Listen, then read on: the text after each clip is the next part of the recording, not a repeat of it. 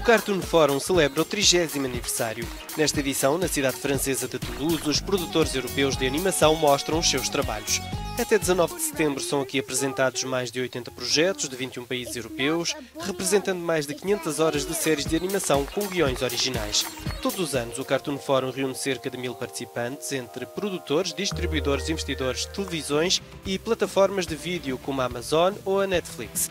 Desde o seu início, há três décadas, o Cartoon Forum ajudou mais de 750 séries animadas a obter financiamento, totalizando mais de 2.700 milhões de euros.